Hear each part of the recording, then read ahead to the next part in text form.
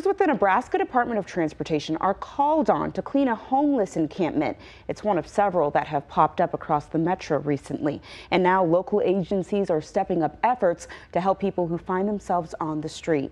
KETV Newswatch 7's Alex McClune reports on the developments.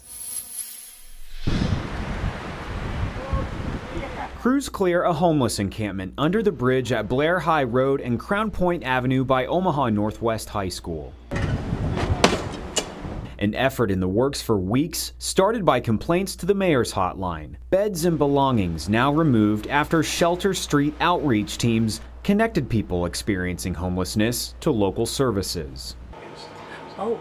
County deputies work on the City of Omaha's homeless task force with shelters and experts. We need to be empathetic to people that are in need of assistance and services, but we also need to think about the people that live around these tents and clean them up as quickly as we can. Nobody's lived here since about September 1st, based on visits by the street outreach teams. A dangerous environment for people living in these tents with a steep drop off just feet away.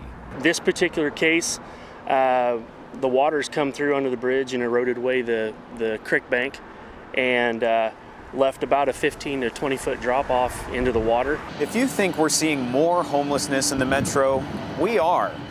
That's according to the Metro Area Continuum of Care for the Homeless, which says experts are still getting their arms around the issue post pandemic, on top of inflation and a housing crisis. Even the sheriff's office receives tips about homelessness almost every day online, which this deputy says is heading further west. We want the community to know that we care.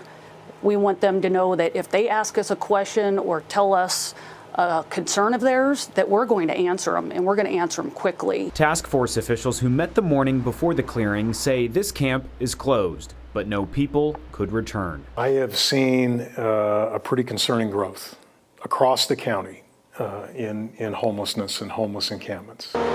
With homelessness progressing, tips from people passing by the bridge have led to connections with services and shelters, part of the process and complications of homelessness.